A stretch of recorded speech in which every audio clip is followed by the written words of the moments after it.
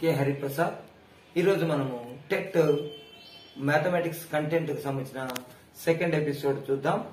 First question మనకు three centimeters into three centimeters into three centimeters కొలతలు గల రెండు గణములను ప్రక్క పక్కగా చేర్చగా ఏర్పడిన దీర్ఘగణాకారపు పొడవు వెడల్పు ఎత్తులు వరుసగా. అంటే మీ రెండు గణాలను త్రీ త్రీ త్రీ ఉండేటువంటి గణాన్ని పక్క పక్కన చేర్చాడు అంటే ఇలా ఉంది. సో ఇది ఒక గణము. సో ఇది హైట్ ఇది లెంత్ ఇది బ్రెడ్త్ సో ఓవరాల్గా అన్ని త్రీనే ఉన్నాయి. ఇలాంటిది పక్క పక్కనే పెట్టాం. సో అప్పుడు ఇది త్రీనే అవుతుంది. ఈ హైట్ కూడా త్రీనే అవుతుంది. ఇది కూడా త్రీనే అవుతుంది. కాబట్టి మనకి ఇక్కడ మార్పు వచ్చింది ఏది? ఓన్లీ ఇది మాత్రమే. ఇది సిక్స్ ఈ హైట్ త్రీ వెడల్పు కూడా త్రీనే. సో కాబట్టి హైట్ ఎంత? ఫస్ట్ అడిగింది ఏది పొడవు. సో కాబట్టి six. Six sorry six. Six centimeter high ఏది? లెంత్. బ్రెడ్త్ వచ్చేసి ఇది. So three centimeters. ఇది పైకి వచ్చేసి height three centimeters H. So six three three ఉండేది ఆన్సర్. మనకు సిక్స్ త్రీ త్రీ ఉండేది ఏది? Third C option. So C is the correct answer అవుతుంది. సో ఇక్కడ అన్ని సిక్స్ సిక్స్ అన్నప్పుడు అన్ని అన్నప్పుడు అది రాంగ్ అవుతుంది. ఇక్కడ హైట్ మాత్రమే హైట్ పెంచిన వెడల్పు మాత్రమే తేడా అన్నాడు. కానీ ఇక్కడ మనకు ఓన్లీ హైట్ మాత్రమే పెరిగింది. మిగతా రెండు కూడా సేమ్గా ఉన్నాయి. మీరు చిన్న క్యూబ్ను మైండ్లో ఊహించుకొని పక్క పక్కన పెట్టుకున్నట్టు అనిపిస్తే ఆటోమేటిక్గా ఇది అర్థమైపోతుంది. నెక్స్ట్ క్రింది వాణిలో రామానుజన్ సంఖ్య. Ramanujan number mathematics మెథడ్స్లో Ramanujan number one seven two nine అని మనకు తెలుసు. కానీ దాన్ని డైరెక్ట్గా అడగకుండా దాన్ని డెసిమల్స్లో అడిగాడు. One point seven two nine into ten cube one point seven two nine ఇది one point seven two nine అనేది దీంట్లో లేని లేదు. దీంట్లో ఉంది దీంట్లో ఉంది దీంట్లో ఉంది. మరి పాయింట్ తర్వాత త్రీ డిజిట్స్ ఉన్నాయి ఇక్కడ టెన్ క్యూబ్ ఉంది. ఇక్కడ త్రీ డిజిట్స్ ఉన్నాయి టూ స్క్వేర్ ఉంది. ఇది టెన్ స్క్వేర్ ఉంది. కాబట్టి ఇది కాదు. పాయింట్ తర్వాత త్రీ డిజిట్స్ ఇక్కడ క్యూబ్ కాబట్టి this is the right answer so ఇక్కడ టెన్ క్యూబ్ అంటే ten digits three decimal digits complete అయిపోతాయి. సెవెంటీన్ ట్వంటీ నైన్ అవుతుంది so for example four digits ఉన్నాయనుకోండి పవర్ ఫోర్ ఉంటే అన్ని మామూలు నంబర్స్ అయిపోతాయి. సో డెసిమల్ డిజిట్ ఉండదు. సో ఇలా సింపుల్గా మనం చేయొచ్చు. పెన్ పేపర్ పెట్టకుండానే చేసేయచ్చు. ఫ్రెండ్స్ uh, ఇప్పుడు థర్డ్ క్వశ్చన్ చూద్దాం. ఇక్కడ థర్డ్ వన్ కనీసము మూడు సౌష్ఠవ రేఖలు లేని పటము. సౌష్ఠవ రేఖ అనగా సౌష్ఠవ రేఖ అనగా ఒకదాన్ని ఏదైనా ఫోల్డ్ చేసినప్పుడు అది ఎగ్జాక్ట్గా ఈక్వల్గా వచ్చినట్లయితే ఆ విధంగా ఫర్ ఎగ్జాంపుల్ ఇదే సర్కిల్ తీసుకుందాం. ఇలా మడిచినప్పుడు సేమ్గా ఒకదాని మీద ఒకటి ఉన్నట్టు సరిపోయినట్టుగా మడిచినట్లయితే దీన్ని సౌష్ఠవ రేఖ అంటాము. ఆ వస్తువును లేదా దాన్ని సౌష్ఠవాన్ని కలిగి ఉంది అని చెప్తాం. ఇప్పుడు మనము వృత్తం తీసుకుందాం. వృత్తంలో ఎన్ని సౌష్ఠవాలు ఉన్నాయి? ఇది సెంటర్ అనుకుందాం. అప్పుడు ఇలా మార్చొచ్చు ఇలా మార్చొచ్చు ఎలా అయినా మరవచ్చు. సో కాబట్టి దీనికి ఎన్ని ఉన్నాయి సౌష్ఠవాలు అంటే అనేకం ఉన్నాయి సో కాబట్టి మూడు కంటే ఎక్కువ. మనకి ఇక్కడ కనీసం మూడు లేని అన్నాడు. లేని అన్నాడు. అంటే మూడు కంటే ఎక్కువ ఉన్నాయి కదా వృత్తం? కాబట్టి వృత్తం కాదు ఆన్సర్ మరి చతురస్రము. చతురస్రం ఇలా తీసుకున్నట్టయితే పొడవు వెడల్పు రెండు కూడా సమానంగా ఉంటాయి. అప్పుడు దీన్ని ఇలా ఫోల్డ్ చేస్తే ఇది ఒక సౌష్టవం అవుతుంది సేమ్ అయిపోతుంది. అదే విధంగా ఇలా ఫోల్డ్ చేస్తే ఏమవుతుంది? ఇంకో సేమ్ ఇక్కడ ఒక సౌష్టవం ఏర్పడుతుంది. నెక్స్ట్ ఇక్కడ ఒక డయాగనల్ కూడా ఒక సౌష్టవం అవుతుంది. నెక్స్ట్ ఈ డయాగనల్ కూడా మరి ఒక సౌష్టవం అంటే మొత్తం నాలుగు సౌష్టవ రేఖలు ఉన్నాయి. కాబట్టి ఇది కూడా కాదు. మరి సమబాహు త్రిభుజం. సమబాహు త్రిభుజం అంటే మూడు కూడా సమానమైనటువంటి కొలతలు కలిగినటువంటి త్రిభుజం. అప్పుడు ఈ త్రిభుజాన్ని ఇలా మడిచినా ఏమవుతుంది? సౌష్ఠవ అవుతుంది. సేమ్గా ఈక్వల్గా వస్తాయి. ఇది ఇలా ఫోల్డ్ చేస్తే కూడా సేమ్గా వస్తుంది. ఎందుకు? సౌష్టవం కాబట్టి. ఇప్పుడు ఇలా కూడా మడిస్తే సేమ్గా వస్తుంది. సో ఇది కూడా మూడు ఉన్నాయి. మరి దీర్ఘ చతురస్రం ఏంటంటే ఇలా ఉంటుంది. మరి దీ- దీర్ఘ చతురస్రం ఇలా మడిస్తే ఒకటి వస్తుంది. ఇలా ఫోల్డ్ చేస్తే అంటే నిలువుగా ఒకటే వస్తుంది. ఇక్కడ రాదు కాబట్టి ఇదే సరైన ఆన్సర్. అంటే మూడు సౌష్ఠవ రేఖలు లేనిది ఏది అంటే దీర్ఘచతురస్రము. నెక్స్ట్ ఫోర్త్ క్వశ్చన్ ఒక పాఠశాలలో ఇరవై ఐదు గదులు ఉన్నాయి. ప్రతి గదిలో పన్నెండు బెంచీలు ఉన్నాయి. ప్రతి బెంచ్ పై ముగ్గురు గరిష్టంగా విద్యార్థులు కూర్చుంటారు. అయినా ఆ పాఠశాలలో బెంచీలపై గరిష్టంగా కూర్చొనగల విద్యార్థుల సంఖ్య. సో మొత్తం ఎన్ని గదులు ఉన్నాయి? ఈ ప్రశ్నను మరొకసారి చదువుకుంటే మీకు ఈజీగా అయిపోతుంది. మొత్తం ఇరవై ఐదు గదులు ఉన్నాయి. ఎన్ని బెంచెస్ ఉన్నాయి? పన్నెండు బెంచీలు ఉన్నాయి. నెక్స్ట్ ఎంతమంది ఉన్నారు పిల్లలు? ప్రతి బెంచ్కి ముగ్గురు కూర్చుంటారు. అంటే మొత్తం twenty five into twelve into three. So ఇక్కడ మనం గమనిస్తే ట్వంటీ ఫైవ్లు హండ్రెడ్కి ఎన్ని ఉంటాయి ఫోర్ ఉంటాయి సో మరి ఇప్పుడు ట్వెల్వ్ ఉన్నాయంటే త్రీ హండ్రెడ్ అయినట్టు లెక్క. మరి త్రీ హండ్రెడ్ ఇంటూ త్రీ ఎంత? నైన్ హండ్రెడ్ అనేది కరెక్ట్ ఆన్సర్. సో తొమ్మిది వందల మంది విద్యార్థులు గరిష్టంగా కూర్చోవచ్చు. సో కాబట్టి వెరీ సింపుల్ దీన్ని ఇలా చేసుకోవాలి. Twenty five into twelve into three. Twenty five ఎన్ని ఉంటాయి వందలో అంటే ఫోర్ ఉంటాయి కాబట్టి ఇక్కడ ట్వెల్వ్ ఉన్నాయి కాబట్టి ఫోర్ ఫోర్ ఫోర్. అంటే త్రీ హండ్రెడ్ అనమాట next into three three three జా నైన్ కాబట్టి nine hundred nine hundred students ఆ పాఠశాలలో గరిష్టంగా ఉండొచ్చు. ఇప్పుడు ఫిఫ్త్ క్వశ్చన్ మరి ఏకాంతర కోణాల జతలు సమానమైతే ఆ రేఖలు? మరి ఏకాంతర కోణాలంటే మీకు ఆల్రెడీ తెలుసు రెండు రేఖలు ఇలా ఉన్నప్పుడు. ఈ రేఖలు ఇది ఏమంటారు? ట్రాన్స్వర్సల్ లైన్ అంటాం. దీన్ని తెలుగులో తిర్యగ్రేఖ అంటారు. ఈ ఇవి రెండు రేఖలు అయితే ఇప్పుడు ఇక్కడ ఉన్నటువంటి యాంగిల్కు ఈ పక్కనటువంటి యాంగిల్ సమానంగా ఉంటే ఇవే ఏకాంతర కోణాలు అంటాం. అంటే రెండు కూడా లోపల ఉండాలి అదే విధంగా చెరొక వైపు ఉండాలి. అంటే ఒకటి అటువైపు ఒకటి ఇటువైపు ఉండాలి తిరియగ్రేఖకు రెండు కూడా అంతరంగానే ఉండాలి. అలాంటి వాటిని ఏకాంతర కోణాలు అంటాం. అంటే ఇది ఏ అనుకుంటే ఇది బి. ఇప్పుడు ఇది సి అనుకున్నాం ఇది బి అనుకుందాం. అంటే ఇప్పుడు ఏబి సమానంగా ఉండాలి. AB C is equal to D ఇక్కడ ఏమన్నాడు మనకు? ఏకాంతర జతలు సమానమైతే అన్నాడు. సో ఇప్పుడు ఏకాంతర కోణాలు ఏ బి ఏబి కూడా సమానము. సిడి ఈ రెండు కూడా సమానం. ఎప్పుడైతే ఈ రెండు రేఖలు సమానంగా ఉంటాయో ఈ రేఖలు సమాంతర రేఖలు అవుతాయి. మనకు ఇక్కడ అడ్డు గీతలు అంటాం. ఇది ఎంతసేపు ఉన్నా మనకు అడ్డు గీతలు అని అనుకుంటాం కానీ అది మ్యాథ్స్లో సరైన పదజాలం సమాంతర రేఖలు. నిలువు రేఖ అన్నది దీన్ని తిరేక రేఖగా చెప్పుకుంటాం కానీ మనం నిలువు గీత అనే అన్నాం ఎప్పుడు. సో కాబట్టి ఇది కాదు ఇది కాదు ఇది కాదు. ఏంటి ఆన్సర్ అంటే సమాంతర రేఖలు అనేది సరైనటువంటి answer. Next twenty seven to the power of minus ఫోర్ను మూడు భూమిగా గల ఘాత రూపంలో వ్యక్తపరచండి. వ్యక్తపరచ వ్యక్తపరిస్తే మరి ఇప్పుడు మూ ఇక్కడ four twenty seven to the power of minus four twenty seven ఏమని రాయొచ్చు త్రీ క్యూబ్ ఎందుకు? Three into three into three మూడు మూడు తొమ్మిది తొమ్మిది మూడు ఇరవై ఏడు. Twenty seven is equal to three into three into three అంటే ఏమి? త్రీ క్యూబ్గా రాసుకోవచ్చు. So that is three cube whole to the power of minus four so ఇది ఏ ఫామ్ అంటే A to the power of M whole to the power of N. దీన్ని A to the power of MN అని రాస్తాం. So మరి అలాంటప్పుడు ఎం into ఎన్ multiply చేసినాం. ఇక్కడ three to the power of three into minus four. That equal to three to the power of three four జా twelve. So three to the power of minus twelve అనేది సరి అయిన answer. ఇది దీంట్లో చూస్తే first ఆప్షనే మనకు సరైన ఆన్సర్. సో ఈ విధంగా మనం కొన్ని ఫార్ములా బేస్ చేసుకొని చేసుకోవాలి. ఇప్పుడు సెవెంత్ క్వశ్చన్ చూద్దాం. ప్రతి భుజము సిక్స్ సెంటీమీటర్స్గా గల రెండు గణములను జత చేయగా కొత్తగా ఏర్పడిన దీర్ఘగణం సంపూర్ణత వైశాల్యము. ఇదే వీడియోలోనే కొంచెం ముందడిగిన క్వశ్చన్ ఏంటంటే సిక్స్ సెంటీమీటర్లుగా కలిగిన రెండు భుజాలను పక్క పక్కగా చేరిస్తే పొడవు వెడల్పు ఎత్తు ఎంత అని అడిగాడు.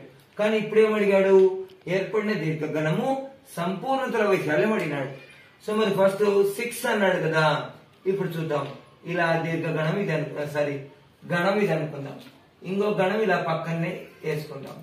అప్పుడు ఇది ఇలా ఉంటుంది గణం అన్నప్పుడు. వీటిని పక్క పక్కనే పెట్టుకున్నాం మనం. ఈ రెండింటిని కూడా యాడ్ చేసినాం. ఇప్పుడు ఇలా యాడ్ చేసినప్పుడు రెండు ఈ మొత్తం లెంత్ వచ్చేసి సిక్స్ ప్లస్ సిక్స్ ఎంత అవుతుంది? Twelve. So L is equal to twelve అయింది. నెక్స్ట్ ఇది హైట్ హైట్ ఏం మార్పు రాలే. H is equal to six B వచ్చేసి వెడల్పిది సిక్స్ ఇది కూడా సిక్స్ అంటే L twelve B six H six మరి దీర్ఘగణ సంపూర్ణతల వైశాల్యం అడిగినాడు. దీర్ఘగణ సంపూర్ణతల వైశాల్యం అన్నప్పుడు మొత్తం యొక్క వైశాల్యం. సో మొత్తం దీనికి ఫార్ములా డైరెక్ట్గా two into LB plus BH plus HL అవుతుంది. మరి టూ ఇంటూ ఎల్ ఎంత? పన్నెండు. పన్నెండు ఇంటూ బి ఎంత? సిక్స్ ప్లస్ బి ఎంత? మళ్ళీ సిక్స్ హెచ్ ఎంత? సిక్స్ ప్లస్ హెచ్ ఎంత? సిక్స్ ఎల్ ఎంత? ట్వెల్వ్ అయింది. సో ఇప్పుడు ట్వెల్వ్ సిక్స్ జా seventy two two half seventy two plus six six జా థర్టీ సిక్స్ సిక్స్ ట్వెల్వ్ జా సెవెంటీ టూ సో ఇప్పుడు మీరు గమనిస్తే సెవెంటీ థర్టీ హండ్రెడ్ అయింది. Hundred plus seventy one seventy అయింది. One seventy two one seventy eight one eight sorry one eighty so that is the answer అంటే two into one eighty is three sixty అవుతుంది answer so ఇక్కడ మీరు గమనించండి add చేసినప్పుడు ఎక్కువ ఇబ్బంది లేకుండా డెబ్బై ముప్పై డెబ్బై. అంటే ఈ డెబ్బై ముప్పై వంద ఈ డెబ్బై వన్ సెవెంటీ అయింది. One seventy two one seventy eight one eighty. ఆ వన్ ఎయిటీ అక్కడ వేసినాను. టూ ఇంటూ వన్ ఎయిటీ ఎంత? త్రీ సిక్స్టీ చదరపు సెంటీమీటర్లు. త్రీ సిక్స్టీ ఎక్కడ ఉంది? B is the right answer so ఇలా చేయాలి. అలా కాకుండా మనం రెండు గణాలను సపరేట్ సపరేట్గా సంపూర్ణతలను క్యాలిక్యులేట్ చేస్తే తప్పుగా వస్తుంది. సో కాబట్టి ఏది అడిగితే దాని ప్రకారమే మనం చేయాలి. ఎస్ నెక్స్ట్ ఇప్పుడు eighth question eight zero eight eight six అంటే eight thousand eighty six. A వేలు ప్లస్ బి ఇంటూ వందలు ప్లస్ సి పదులు ప్లస్ డి ఒకట్లు. అంటే ఇది సింపుల్గా చెప్పాలంటే ఎక్స్పాన్షన్ ఫామ్. సో ఎక్స్పాండెడ్ ఫామ్లో తీసుకున్నట్టయితే ఏ ప్లేస్లో ఎయిట్ ఇంటూ వేలు ప్లస్ జీరో ఇంటూ వందలు ప్లస్ ఎయిట్. అంటే ఒకట స్థానం పదుల స్థానం వందల స్థానం వేల స్థానం. అదే ఇక్కడ వేసుకోవాలి. అలా వేసుకున్నట్లయితే ఇక్కడ మనకు అడిగిన క్వశ్చన్ సి గడిలో ఉండే సంఖ్య. మరి సి గడిలో ఏముంది? ఎయిట్. సో ఎయిట్ ఎక్కడ ఉంది ఎయిట్ సో ఎయిట్ అనేది సి గదిలో ఉంటుంది. ఎందుకు? సి ఇంటూ పదులు కదా. ఎనిమిది ఇంటూ పది. ఎనిమిది పదులు ఎనభై. సో ఎనభై రాయకూడదు. ఆన్సర్ ఓన్లీ ఎయిట్ మాత్రమే. సి గడిలో ఉండే సంఖ్య అన్నాడు. సి విలువ లేదా సి స్థాన విలువ అనలేదు. కాబట్టి సి యొక్క ఆ, విలువ ఏదంటే మొత్తం సి యొక్క అంశం ఎయిట్ అనేది ఆన్సర్. ఎస్ ఇప్పుడు నైన్త్ క్వశ్చన్ నైన్త్ క్వశ్చన్ ఒక నీళ్ళ ట్యాంకును నింపడానికి ఆరు కుండల నీరు. ఒక నీళ్ళ ట్యాంక్ నింపడానికి ఎన్ని కుండలు? ఆరు కుండల నీరు అవసరం. లేదా తొంభై ఆరు జగ్గుల నీరు అవసరం. అయినా ఒక కుండ నింపడానికి ఎన్ని జగ్గుల నీరు అవసరం? సో ఇప్పుడు మీరు గమనించండి ఒక ట్యాంక్ నింపడానికి ఆరు కుండలు కావాలి. లేదా తొంభై ఆరు జగ్గులైనా సరిపోతుంది. అంటే దాని అర్థం ఆరు కుండలు ఎంత పడుతుందో తొంభై ఆరు జగ్గులకు కూడా సమానం అని అర్థం. సో కాబట్టి మనకు కావాల్సింది ఏంది? ఒక కుండనే కాబట్టి ఈ ఆరు కుండలకు తొంభై ఆరు జగ్గులు అవసరం. మరి ఒక కుండ కావాలంటే వెరీ సింపుల్ తొంభై ఆరు బై ఆరు వేస్తే పదహారు జగ్గులు. సో పదహారు జగ్గులు అనేది సరైన ఆన్సర్ ఆరు కుండలైతే తొంభై ఆరు జగ్గులు అవసరం. ఆరు కుండలు అయినా తొంభై ఆరు జగ్గులు అయినా సమానం. కాబట్టి ఒక్క కుండ వాల్యూ ఎంత? పదహారు జబ్బులు. మరి నెక్స్ట్ క్వశ్చన్ టెన్త్ది పదకొండు ఒకటి బై ఐదు పదకొండు ఒకటి బై మూడు పదకొండు ఒకటి బై ఏడు పదకొండు ఒకటి బై తొమ్మిదిలలో పెద్ద సంఖ్య ఏది? ఇలాంటి వాటిలో బిగ్ నంబర్ అడిగాడు. మరి ఈ బిగ్ నంబర్ అంటే అన్నిట్లో ఇదన్నీ కూడా మిక్స్డ్ ఫ్రాక్షన్ అంటే అపక్ర సారీ మిశ్రమ భిన్నము. అన్ని కూడా పదకొండు పదకొండు పదకొండు పదకొండే ఉన్నాయి. అంటే అన్ని పదకొండు పక్క పెట్టేద్దాం. మనం ఏం మార్చొద్దండి? ఇప్పుడు ఒకటి బై ఐదు ఒకటి బై మూడు ఒకటి బై ఏడు ఒకటి బై నైన్. అంటే లవాలన్నీ కూడా న్యూమరేటర్స్ అన్ని కూడా వన్ తోనే ఉన్నాయి. మరి ఇలాంటప్పుడు మనం ఏం పెన్ను పేపర్ పెట్టి చేయాలన్న పనిలే? ఈ పక్క నంబర్ ఉన్న మిశ్రమ నంబర్లో ఉన్నట్టు అన్ని సమానంగా ఉన్నాయి కాబట్టి అన్ని ఈక్వల్. నెక్స్ట్ ఇక్కడ వచ్చేసి ఇవన్నీ కూడా క్రమభిన్నాలు one by five one by three one by seven one by nine. అన్ని కూడా పైన లవాలు వన్ వన్ ఉన్నప్పుడు మనం సింపుల్గా చెప్పాలంటే పెద్దది అడిగినప్పుడు కింద ఉన్న నంబర్ను మాత్రమే గమనించండి. కింద చిన్న నంబర్ ఏదైతే ఉందో అదే పెద్దదైపోతుంది. సో ఇప్పుడు త్రీ అనేది చిన్న నంబర్. కాబట్టి ఈ దీంట్లో పెద్ద సంఖ్య ఏదంటే eleven one by three. This is the right answer ఇదే ప్రాబ్లం ను మనము దీన్ని ఏది? మిశ్రమ భిన్నాన్ని అపక్రమ భిన్నంలోకి అన్ని మార్చి ఇవన్నీ చేయడం వేస్ట్ సో కాబట్టి బెస్ట్ మెథడ్ ఏంటంటే అన్ని కూడా లెవెన్ ఈక్వల్గా ఉన్నాయి.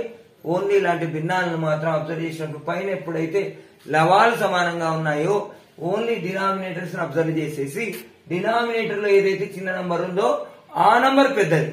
అలా కాకుండా డినామినేటర్లో ఏదైతే పెద్దదో అది చిన్నది అయిపోతుంది అది మనం సో ఇది పెద్దది అవుతుంది చిన్నది అడిగినాడు అనుకో ఇది అవుతుంది సో కాబట్టి మనకు పెద్దదే కాబట్టి పెద్దది ఇది ఆన్సర్ చిన్నది అన్నప్పుడు ఇది అవుతుంది నెక్స్ట్ లెవెన్త్ క్వశ్చన్ ఇది ఐదవ తరగతిలో గల యాభై రెండు మంది విద్యార్థులలో పద్దెనిమిది మందికి యాపిల్ పండ్లు అంటే ఇష్టం. దానిని గణనా చిహ్నాలలో చూపిస్తే అంటే గణనా చిహ్నాలు అనేది స్టాటిస్టిక్స్ దత్తాంశానికి సంబంధించినది ఇక్కడ మనకు పద్దెనిమిది మందిని సూచిస్తున్నాడు అన్నాడు. ఏది? యాపిల్ పండ్లు. మరి మనకు పద్దెనిమిది మంది నంబర్ రావాలి. ఇక్కడ చూడండి ఫైవ్ ఫైవ్ ఒక బండల్గా ఉంది. ఫైవ్ ఫైవ్ టెన్ కాబట్టి ఇది సరైన ఆన్సర్ కాదు. ఇక్కడ తీసుకుంటే one two three four five. ఇది ఫైవ్ ఇది ఫైవ్. ఇక్కడ మనం ఇది కూడా చూడాలి? ఫైవ్ ఉన్నాయా లేదా అనేది. Five five five. టూ. అంటే సెవెంటీ నైన్. ఇది కూడా కాదు. ఇప్పుడు ఇది చూద్దాం. One two three four five ఉంది. ఇది ఫైవ్ ఉంది. ఇక్కడ ఫోరే ఉన్నాయి. సో కాబట్టి అప్పుడు ఇది ఆన్సర్ కాదు. నెక్స్ట్ ఇక్కడ ఫైవ్ ఫైవ్ టెన్ ఇది ఒక ఫైవ్ ఫిఫ్టీన్ ఇది ఒక three so eighteen so this is the right answer so అంటే D is the right answer so ఇది మనం గమనించేటప్పుడు ఈ గణనా చిహ్నాల్లో అన్ని కూడా ఐదైదు ఉన్నాయా లేదా? ఐదైదు లేకుండా ఇక్కడ చూడండి మూడు ఒకటి కొ- కొట్టినాడు. అంటే ఐదు లేకుండా నాలుగే ఉన్నాయి. సో ఇలాంటివి కూడా మనము ఎగ్జామ్ పాయింట్ ఆఫ్ వ్యూలో అబ్జర్వ్ చేయాలి. Next last question twelfth the రెండు పూరక కోణాల భేదము నలభై డిగ్రీలు అయినా వానిలో పెద్ద కోణం ఎంత? పూరక కోణాలు అంటే ఏవైనా సరే రెండు కోణాలు మొత్తం ఎంత ఉండాలి? నైన్టీ డిగ్రీస్ ఉండాలి. ఎప్పుడైతే రెండు కోణాలు మొత్తం నైన్టీ డిగ్రీస్ అయితే వాటిని పూరక కోణాలు అంటాం. కానీ ఇక్కడ మనకు పూరక కోణాల భేదం అడిగినాడు.